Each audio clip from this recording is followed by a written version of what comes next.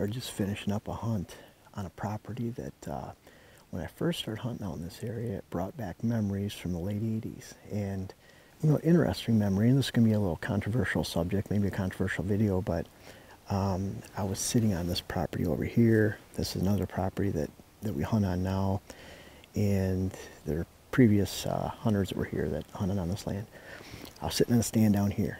And it was one of the first years we were, first sets, um, you know, we were hunting here. And uh, I heard that putt, putt, putt of the ATV coming. And of course, it wasn't coming on the land we were hunting, but it was within a few hundred yards. And right away, I thought back to my uh, teenage years in Michigan in the late 80s and, uh, and how the neighbor would ride a big red, it was ATC, and he would ride into the end of the river bottom that was about three quarters of a mile away. And within 20 minutes, I'd have up to 30 deer go by. And same thing here. Now, this was in 2003, 2002, heard the putt putt putt of an ATV, and sure enough, here comes 25 deer coming by.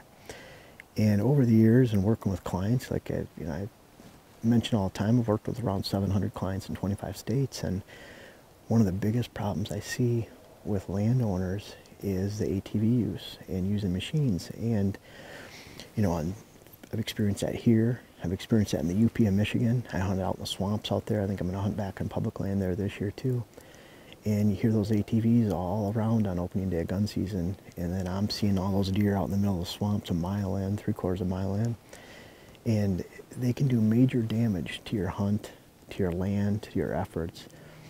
And the big problem with ATVs is that um, the uh, does can be very misleading and very deceiving because you can drive by does, small bucks, young bucks, and they'll just stand there and watch you, and they give you that illusion that everything's okay. And um, it, it kind of lulls you into this false sense of security that every time I'm on my ATV is fine. You know, the deer get used to ATVs. Well, yeah, young bucks, does, fawns, they get used to those ATVs. But, um, you know, if you're like me, I like hunting the older bucks in the area. I like developing a good herd on the property. I like maintaining a herd on the property.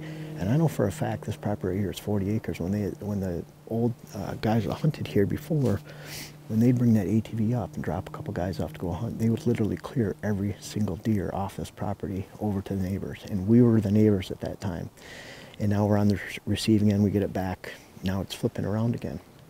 And so the bad thing is you just don't know how many deer that you, you spook off the land. The, in case here, they actually spooked the deer off this property before the ATV even rode onto the property. It was when they were just leaving from their house, circling around, and then all the deer would come over to us. So they they never had an idea, and I'm sure they thought, well, the ATV doesn't spook anything. Um, I remember they brought a tractor up one time up the hill to drop hunters off. People say, well, a tractor doesn't spook anything. Well, that's fine out in the ag fields, and I've done that before. I've even used a pickup truck where I had my wife drop me off at a stand location on a fence row with a pickup truck. I actually stepped off the rail onto the tree, went up. Great, great method. The deer are used to machines out in the ag fields, but they're not used to a tractor three times a year coming up this hill to drop hunters off. So it's really out of place. And then same with the ATVs.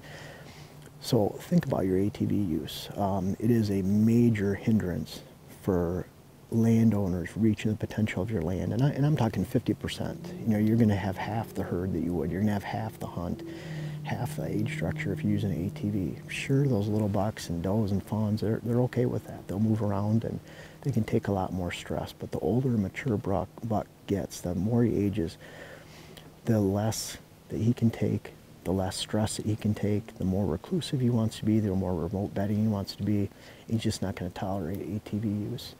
There's a lot of electric machines out there. We have electric bikes, the QuietKats, um, they have the electric uh, side-by-sides, and those are a great option for something other than you know, an ATV that you can hear from a half mile away coming in and spooking deer. Um, even a vehicle, a truck. I noticed up in the UP in Michigan where I was at, and landowner or, or hunters that were hunting on public land, they'd fire up the ATVs from camp, drive four miles down the road and cut into the back roads, you know, half mile and park. And you could hear them coming from a mile away across the swamps. Well, with a, with a truck, they could have driven into those same spots, ultra quiet, been warm the whole time, not have to worry about that cold wind on their face. And so consider having very quiet access getting into your land. And I'd rather be coming in very, very quiet and spook a buck that's near my tree stand that had no clue that I was coming in than spook them before I even drove onto the property. So consider how you're getting in and out of your land. I'd rather move through here like a predator and be very stealthy, be very quiet. And I always think it's, if you're looking at a choice between very loud and ATV use or being quiet, stealth is always your number one option.